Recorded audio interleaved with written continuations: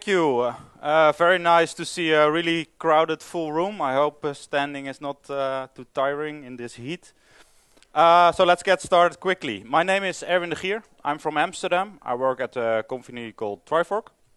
And a couple of years back, I started playing around with Vert.x, uh, Java framework you might have heard about. It's about asynchronous programming, reactive programming. And that really got me interested in reactive programming, and specifically how you would apply it in Java. There are other languages which might be better suited to reactive programming, but a lot of the people still speak Java, so I, focus on that one. So before I start, I want to know, are there people in the room who use reactive programming in production or in their daily jobs? Okay, um, who has done it as a tutorial, hobby? Who doesn't know what reactive programming is at all? A couple of them as well, okay. And the rest, what, what is the rest? Asleep already. Okay, so um, if you know a little bit about reactive programming, then you see that in Java over the years there have become more options, that even uh, Java 9 has an option for reactive programming. And that's really nice on one side, but it also gets a little bit confusing on the other side. So I got confused, so I started looking into the different possibilities, the libraries, the frameworks, uh, and I put it all together. And I want to share that knowledge with you. So let's start with why. Uh, why is reactive programming popular? Um, when you're building an application, you usually interact with the outside world. And data comes into your application, and usually this data is modeled as an event. So even if you query a database, the data comes back to you, and you have to react to the data.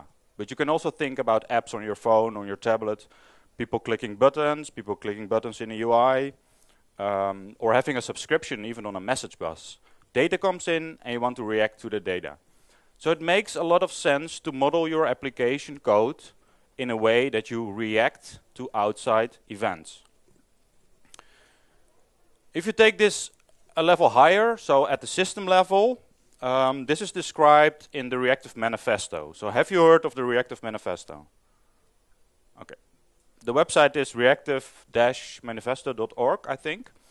And if you go to the website, we'll say something like uh, a couple of years ago, we built applications. They were scaled on tens of servers with gigabytes. And we had uh, hours of downtime a year, seconds of response time. But now users are expecting to have milliseconds response time. Data is always available. We measure data in petabytes we can scale to literally thousands of cores if we want, if you use something like Google Cloud or AWS. So the old way of developing applications in Java doesn't really suit this anymore, so we need something different. We need reactive architectures, reactive systems. And the cornerstone of reactive systems is they should always be responsive. So the user should always get some feedback if it interacts with your application. And this should also be the case under high load. So responsiveness of the system under high load is what we call elastic. So if you have millions of requests, your application should still be responsive. On the other hand, uh, applications are composed of multiple modules. Maybe you're doing microservices or you're calling external systems.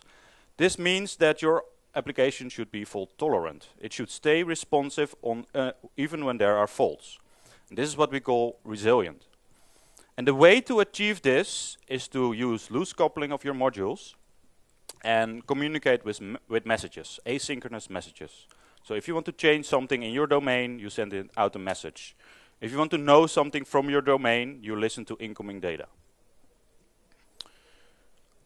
Okay, at the code level, very easy. If I build uh, an application. And in my application, I do a query to a database, just using JDBC or uh, JPA, Hibernate even.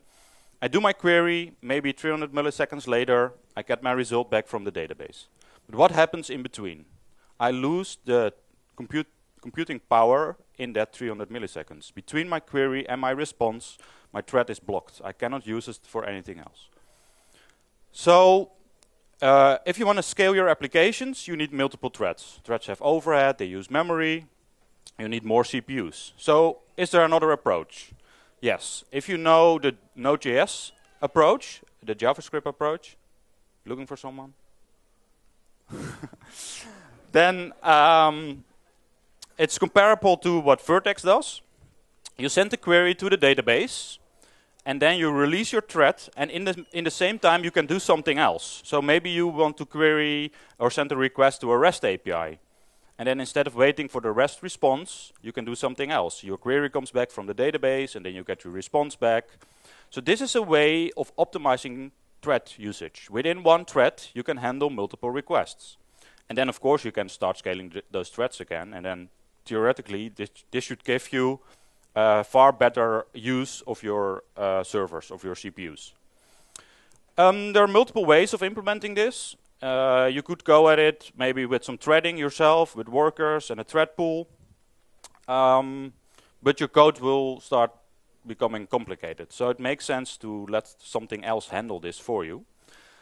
But if you want to do uh, this asynchronous model, if you want to implement this in your code, you need to have a uh, clear API that allows you to do this. So I, I know that the slides or the project is a little bit small, smaller than I'm used to, but they explicitly said put code on the slide. So if you cannot read it, download the slides afterwards. I will try to explain. Uh, the first two statements is how we used to write Java APIs. So you call a method. In this instance, we're looking for people by their name. And our result is just a list of persons. Again, the second one, we want for each person by their name, we want to get the income and we get back a big decimal. So nice blocking, uh, standard uh, repository, how, however you would call it, a service or a repository. We can change this around. We can, instead of a return type, uh, we have a void method, so we don't return anything. We return immediately after the method is called. And then as a second parameter, you can register a callback. So those of you who've done JavaScript, you will recognize this. You will say that we've done this for 10 years. New Java people are way behind.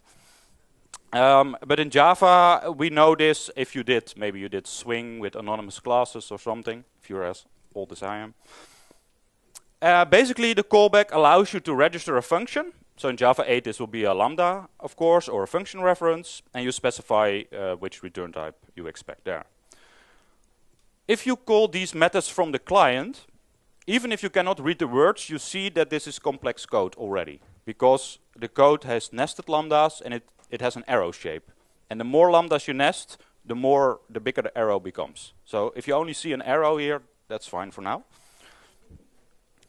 What we do is uh, we, we try to find persons by the name Erwin, and then we pass in a lambda, and inside that lambda we stream the results with the Java 8 Streams API, we filter that. We only want people over 65 years of age. And then for each person, we want to calculate their income. Okay, you can imagine that if you start combining asynchronous call, calls, asynchronous callbacks like this, that you get complex code, hard to read, non-maintainable. So this, this is not what we want. So we need a solution for this. And one of the solutions is uh, RxJava. It's a library, uh, originally from Netflix, I think, uh, originates from .NET, came over to JavaScript, Java, Scala, lots of languages. And this allows us to handle asynchronous code in a different way. You see that the callbacks are gone. At the top we have our uh, repository methods again, and we now return not a person or a list of persons, but an observable of persons, and also an observable of big decimals. And the observable can be combined with or uh, co um, compared to the future in a way that it doesn't immediately contain a result. The results are delivered over time. So if we do the same call as you saw before with the nested lambdas, we now do a repository call, we find persons by the name Erwin, then we can immediately um, apply a filter on that result, and then uh, the filter selects all the persons over 65 years. Then we apply a flat map.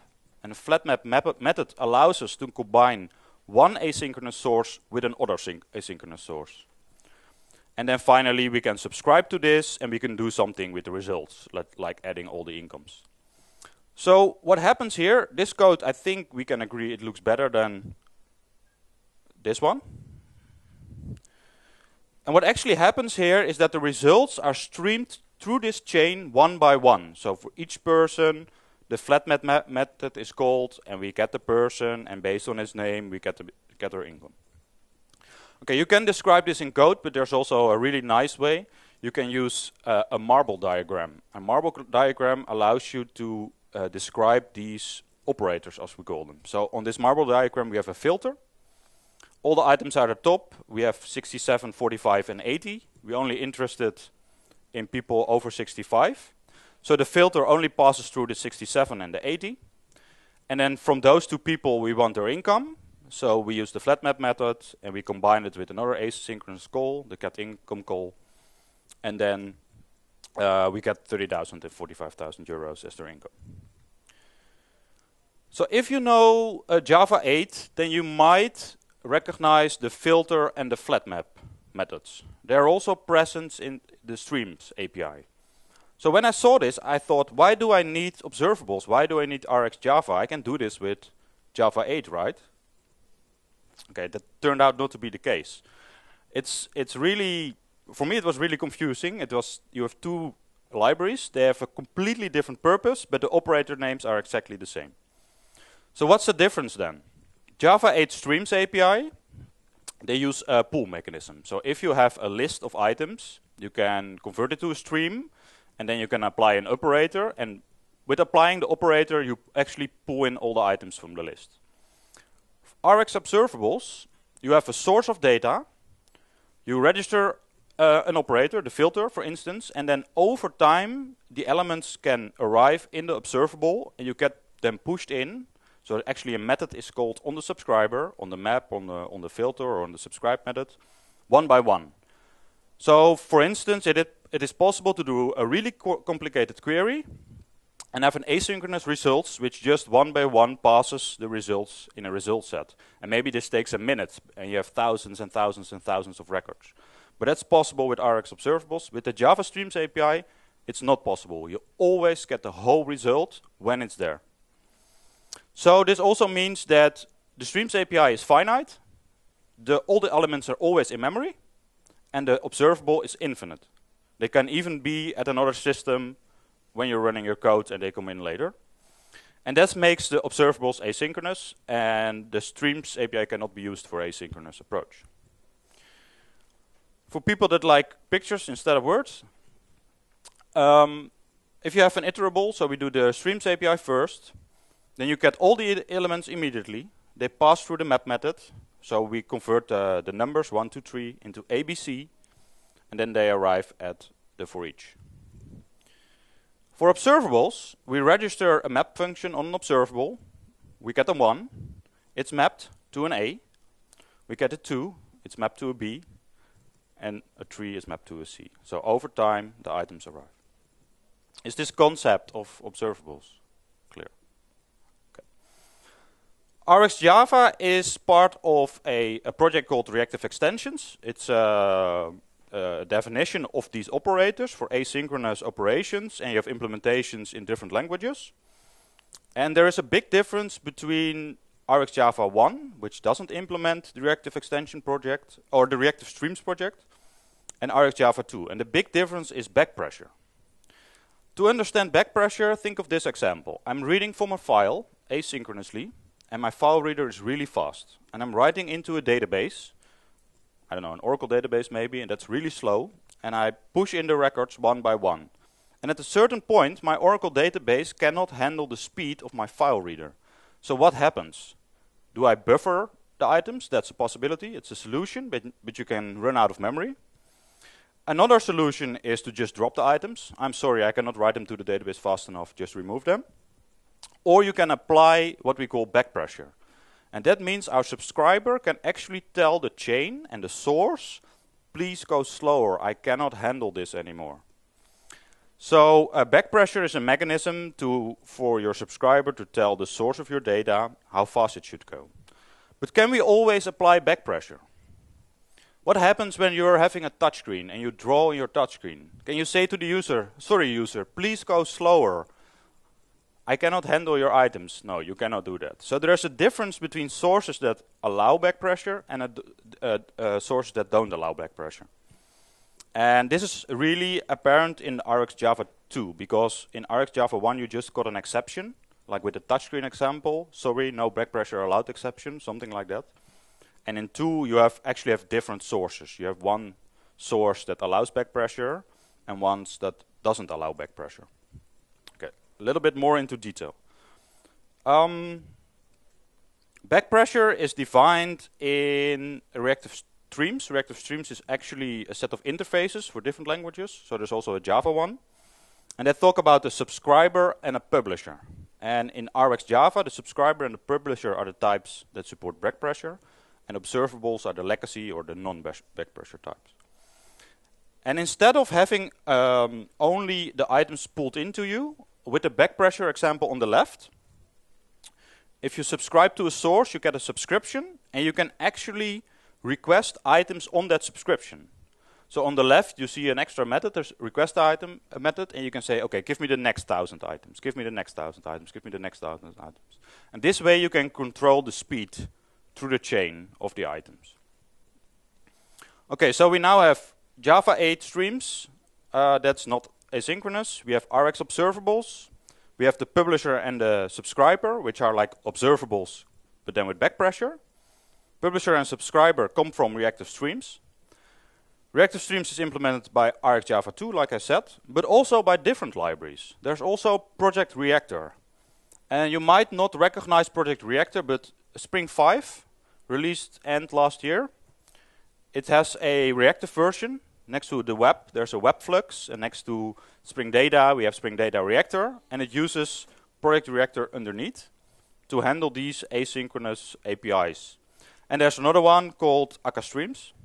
And then the fourth one on the slide is not really an implementation of reactive streams, but in Java 9 we will get the Flow API. The Flow API is actually reactive streams interfaces copied into Java. Because of course you don't want a dependency to some kind of external uh, definition. Uh, if you just have your Java uh, library, then uh, you want to have all your types internal. So you can use Java 9 Flow API. But the Java 9 Flow API is just a specification. It's not an implementation. So with Java 9, it's not the case that you can do reactive programming out of the box. You can just implement types or use something uh, like RxJava for implementation. So what's the usage then? Well, you can use it to connect different frameworks, for instance. So you can convert from observables to uh, the types used in Project Reactor. So let's put this uh, in a kind of halfway overview. Standard Java blocking you get back um, a single value, that's just your return type, of your list of values, that's an iterable. You can do Java non-blocking. You can use completable futures. I've been speaking for 15 minutes and I haven't mentioned completable futures. And you might think, oh, asynchronous programming, Java, why don't you use completable futures? Completable futures allow you to subscribe, like an observable. It allows you to retrieve the result, but you always get the result in one time. So if you think about a large data set, you're querying the database and you get back results one by one, that's not possible with the completable future. You just get zero items or the complete result. So in memory, you will still have the complete result. So that's a, a big difference between uh, the real reactive stuff and the completable future stuff. Okay, reactive streams, similar scenario. We have the publisher if you have a no value or single value or multiple values. And depending on how many you have, you will have a different type as the generic type. Then there are implementations. RxJava, it has the publisher as well, and it also has an observable. If you have a single type, you can use the single, and if you use mul multiple type, you use the observable. And then Project Reactor. I haven't mentioned the types, but they actually use a mono instead of a single, and a flux instead of an observable. And the nice thing is, or I don't know if it's nice, but these things do exactly the same. It's just another framework.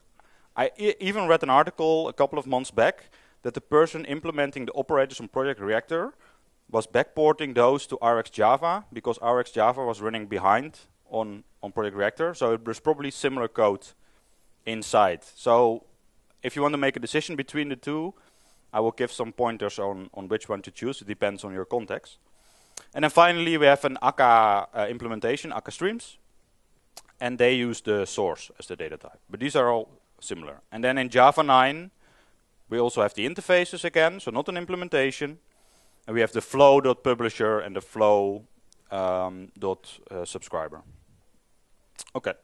Another difference between reactive uh, streams and Java 8 streams.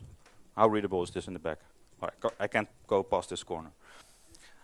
Um, so basically, the difference between another difference between these two is that um, you can reuse reactive streams again.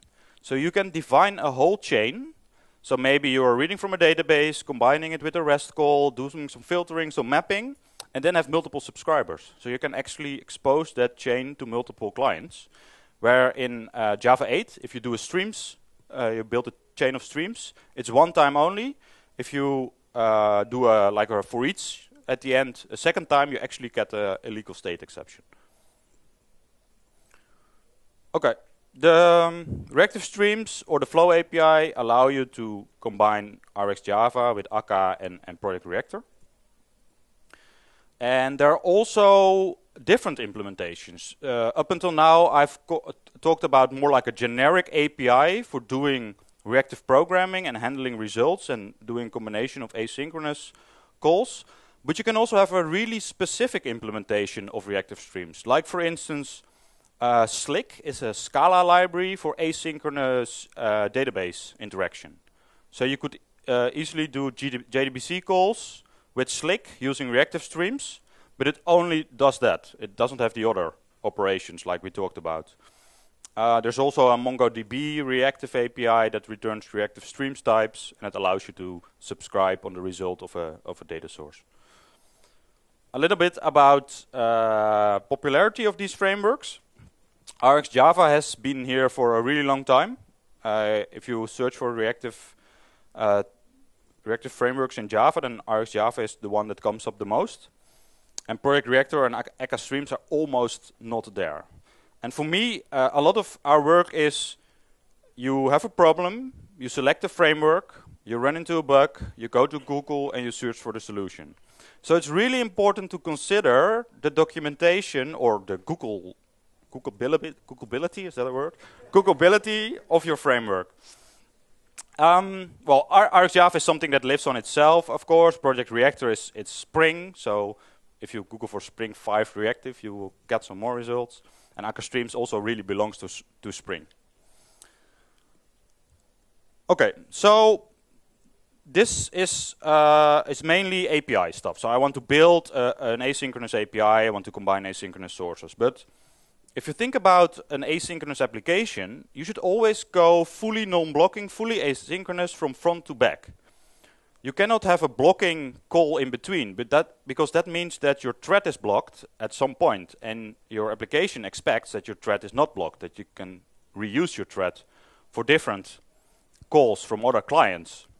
So if you uh, if you handle uh, maybe a REST request and you uh, call another database and a REST API and you read from the file system, then you should always be non-blocking everywhere. And that means you cannot build these applications in Java without some other framework that helps you with this. Because all your operations, so all your libraries, should implement asynchronous up until the OS level. So even your operating system calls should be non-blocking. So for instance, if we, if we want to do some I.O., we read from a file, then it should be asynchronous, and if we write that to a database, then that should be uh, asynchronous as well.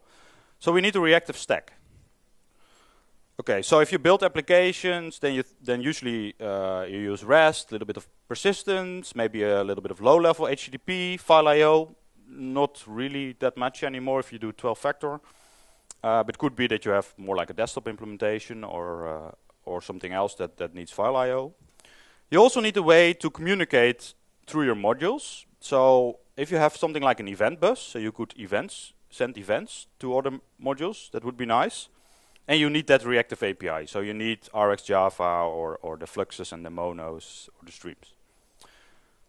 So if you think about Java, what are our options? We have uh, actually three main candidates. We have Vert.x, Spring 5, and Akka. Vert.x version 3, which is uh, is the last one. There, there's a minor version after that, but uh, 3 point something, uh, released in 2015. It's uh, a complete reactive stack. We have Spring 5, released end of last year. And we have Akka, which is actually the oldest one. It's, it has been there since 2010, I think. So let's look at these uh, side by side. First of all, for Vert.x. Is, um, well, for me it was a completely new way of developing in Java. I was used to using either Java Enterprise Edition with annotations or using Spring with annotations. But Vert.x, it's its own stack, so you can use it without any of the other dependencies. You just have your Vert.x dependencies. Usually you build a runnable jar, so it doesn't run on an application server. It's uh, completely asynchronous and reactive, it's polyglot, so you can do Java, but also JavaScript, Scala, Ceylon, uh, Ruby, I think. And it was meant for distributed computing. So you build different modules.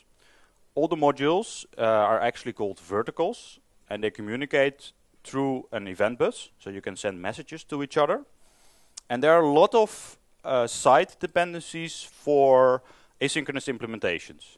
So they have implementations, uh, of course, for REST, um, but also for JDBC, MongoDB, File.io, um, HTTP2, WebSocket. So one of the coolest Vert.x examples is you have your event bus, you can connect it to the browser, you can send events in the backend, and you see them immediately in the browser.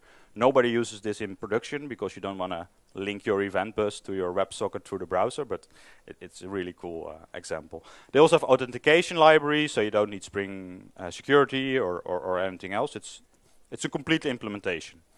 EventBus uh, is really quick. It allows you to uh, scale over, over multiple JVMs and multiple nodes.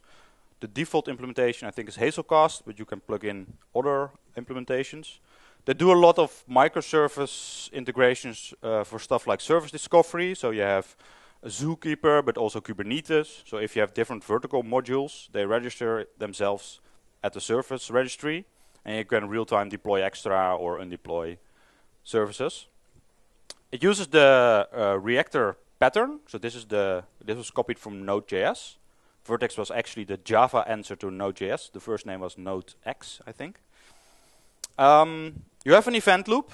For the developer, your event loop runs on one thread. So your programming module is always single-threaded. You get in events. The events are dispatched to verticles who subscribe to the events. And if you have to do blocking work, you can do that. You can spin off a worker verticle, and then that will run on its own thread. Of course, in practice, you don't have one event loop. If you have a quad-core machine, you get four event loops. If you have eight cores, you get eight event loops. You can tweak this, of course, but uh, by default, it's one thread, one event loop, one CPU core. This allows you to build um, heterogeneous uh, applications, and that's in the sense that you can have one JVM with some verticles running, maybe something for messaging, for settings, for search, and another JVM you have your user module, and you also have a copy of the search module because a lot of people search, but not a, lo a lot of people use messaging. They all uh, communicate to the event bus, and you can even do your uh, data storage over the event bus. So if you want to store something in NoSQL database, you send a message to the event bus, the database client listens to the event bus, and it can can stores uh, can store this information. This was the one of the slides I was worrying about. I don't think you can read this at the back, or you can. Oh, cool, nice. Okay, so a simple code example: we make a hello world verticle. you can uh, either implement an abstract class, abstract verticle, or you can or extend an abstract class or implement an interface. You get a start method. In the start method, you can do some registration. For instance, you um, subscribe to the event bus, you create a consumer, you listen to the hello channel in this example, and every time you get a message, we print it out to the screen. And then in the same verticle, usually you do this in another one, I have an event bus and I send a message and that's received by my consumer. So really easy um, single job. You can make it a little bit more complicated. For instance, I have a REST verticle. In my REST verticle, I create a router. On the router, you define paths. and uh, th those are the URLs, and those are mapped to specific implementations. If you look at it, you see that this example code uses lambdas. Um, you can also use uh, RxJava for this, and it would be much nicer to remove the lambdas here and just use what they call the Rxified API. So there is like a whole Vert.x API, and it returns the RxJava types like the observable. You can subscribe them uh, to them and then do your work. Okay, so that's uh, Vert.x. Um, it's really nice. It's different from what you're used to probably, at least if you're uh, uh, a long-time Java developer. I find it very fun to program with. Um, I did find it hard to manage a team on a project with Vert.x because the paradigm shift makes it that it's easy to write complicated code or, or buggy code, especially because it allows you to do these kind of nested lambdas. So if you go to uh, familiar territory, uh, I think there's a lot of developers who have years and years of experience with Spring. If you are going to build something in Java and it does some REST or it has a simple UI, you probably uh, start with creating a Gradle file or a POM file with Spring dependencies and then you start coding away. So Spring 5 gives us uh, WebFlux, which is basically the reactive version of Spring Web. It gives us Project Reactor underneath, for the event bus and uh, the reactive APIs. It gives us reactive data repositories, which is really nice, but it, because it means we can do Spring Data, so we can define interfaces like we used to, and then actually have the re result returned asynchronously and non-blocking. So we can do a query, then we can do something else, and then we get the result back. Or you can do a query, and then one by one you get the results back, which is even nicer. Uh, how does this look? Well, it's uh, actually really similar to the way you are used to building applications in uh, Spring. You still have your annotations, you still have a get mapping, but if you look really closely, then here, instead of a string, we, we want to return hello world, of course. So we want to return a string. We don't return a string, but we return a mono of a string. And if you remember from, I think, about 15 minutes ago, I explained that a mono can contain 0 or 1 values, and the values are delivered over time. So this allows us to use reactive change. So in this instance, we're just returning the string immediately, but we can do also do more complicated stuff, which I will show later. And actually what happens is that Spring will subscribe on this reactive type, and once the data comes in, then Spring starts converting it to, for instance, JSON, and then uh, returns it back to the client. So a little bit more, I actually copied it this morning from a project I'm working on because since a couple of weeks I'm working on a project and I can actually use uh, Spring 5 reactive. What happens in this code is that um, I send a command into my domain over a bus. A command does something mutating and then we have eventual consistency. So a couple of hundred of milliseconds later, the data will be there. So I have to send a command, then I get an ID back. I send a query with that ID, and then sometime later, I get the result back. And this is all modeled in this code. So I combine the ID from the command with the result from the query. I can even do a retry.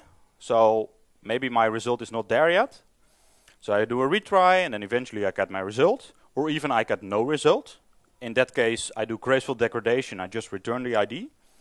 And then finally, uh, we map this to uh, a response. So this is completely asynchronous, non-blocking, but the code is still readable and concise. And Spring WebFlux actually handles the subscription for us and the conversion from REST. And REST is based on HTTP, and HTTP is a synchronous protocol. So we have a synchronous API. We want to create an order and immediately want the result back. But our backend is completely asynchronous. And then with Project Reactor and Spring WebFlux, we convert the asynchronous domain back into a synchronous domain. Third one, Akka, a little bit different. It uh, it's actually um, uh, Vert.x allows you to do an event-driven uh, architecture, but it's really unopinionated. So you can mess up a lot. You can also do a lot, you because you have a, free, a lot of freedom, but you also have you can misuse that freedom. So if you want to have an, a more opinionated implementation of event-driven systems, you can do Akka. It has the actor model, which is basically event-driven but really applied. Um, it has, of course, REST libraries. There's Akka HTTP. It is really popular in the Scala world. We focus on Java in this uh, talk. I didn't want to leave it out because the Akka Java libraries are similar to the Scala libraries. It's feature comparable, I think. But uh, if you look for uh, answers to your questions on Stack Overflow, on Google, you will get Scala examples, which is not a bad thing per se, but just be aware if the Googleability is a little bit less. So how does it work? Instead of verticles, we have actors. Actors have a mailbox. Uh, you can send messages between actors. And actors have to protect their own state. They have their own behavior. And um, they uh, do the specific functions your application does. And the nice thing about Akka is that you can also uh, create hierarchies of actors. So maybe you have some uh, some actors, and then one of the actors it connects to an external API, but the API is down, it can return a fault, and then another actor can take over, and it can say, okay, then return our cached result instead of the real, uh, the real result. So um, this is a little bit of a different approach from, from Vert.x, uh, and it gives you more structure in your application code. Uh, in Hello World with an actor, well, we don't implement a verticle, we implement an actor, and instead of a start, we also uh, actually have a pre-start method, and we even have an on-receive, because actors always can always receive messages, where in Vert.x we had to subscribe to the event bus. In Akka, this is applied, so we can always receive messages, we can always send messages. And then we have an object, uh, a greeter object that sends uh, a message, and then on receive we print a message uh, to the command line. You can also do HTTP, also really similar to Vert.x. You have a router object, you map a path to some specific functionality. Okay, if we look at uh, popularity again, if I have to Google for answers to my questions or, or how to implement something, then basically Akka is far more popular than Vert.x, probably because it's older, so there are a lot more uh, results. Um, one thing to know is that Vert.x is really well documented, and also they have a really active uh, Google group. So if you post questions in the Google group, then the developers uh, almost always uh, answer. It's sponsored by Red Hat, so there is a big company behind it. Of course, Akka is Lightbend, I think, so there's also a big company behind it.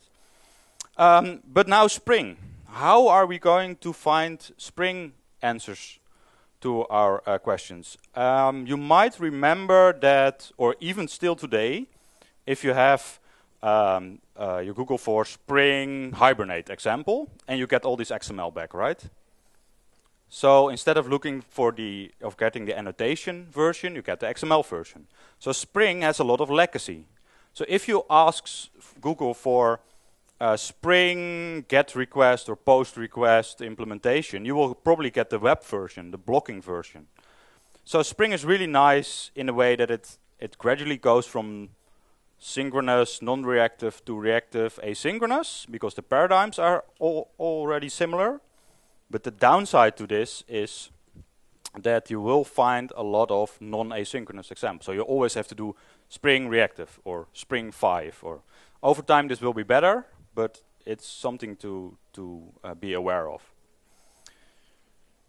Okay, so let's go uh, to the overview. If you are uh, looking to do uh, reactive programming in Java, then uh, my opinion is these are the three frameworks you should look into, Vert.x, Spring, and Akka. Spring is really close to our, our, our mental model, is how we, how we do development now. So uh, it also endorses you to use the reactive types, so your, your code will look better. Uh, it's less uh, big in, in terms of stack. So if you look at Vert.x, for instance, that has a really elaborate library for all kinds of integrations and interactions to do that asynchronously. So Spring is more narrow, but of course it's Spring, so we expect to get more libraries over time and people will contribute there as well. Vert.x, a lot of freedom. They don't uh, specifically say you have to use reactive type, so you can make really ugly code, callback hell as we call it. Um, Spring uses Project Reactor. You could also use Rx, I think, Rx Java, but then, yeah, where are my code examples? Because everyone does Spring with Project Reactor. And finally, Akka, if you're leaning more on the Scala side, if you're or you're thinking, I want really this event-driven model uh, with a little bit more uh, grip. And question I didn't answer yet is should we build all our programs uh, in an asynchronous reactive way? Well, of course, the answer is always, as a consultant, it depends. I think uh, a good use case is the one uh, where I'm currently using it. I have a, uh, a mobile and a web and a, a, client, and they talk to a REST API, and they need to have some data or they need to uh, interact with an asynchronous backend. Then it's really powerful to use the reactive types and Spring Web Flux to do that combination. So if you have a lot of asynchronous stuff to do, then it makes sense. If you just have a synchronous REST API on top of a JPA thing, well, don't don't bother for now. I think. Is performance really a question? I have a colleague. He works on another project. They're building uh, a layered uh, REST uh, gateways, and he says, "Well, no, it's not a question. We we run Kubernetes on Amazon. We can scale uh, whatever we want. We don't need uh, optimization of of the threads." Um, and then the last thing to take away: if you are going to do asynchronous programming, please look into using those reactive types. Don't do it with callbacks. Don't do it with anonymous classes. If you're doing it in Java, you look at RX, Java, Project Reactor. They're all similar. They're really powerful. It can be some kind of a puzzle. The retry took me one and a half days. It's two lines of code. But then at the end, it's only two lines of code. If you do it with callbacks, then at least 10 lines of code and nobody knows what you did. And now it's just retry and error.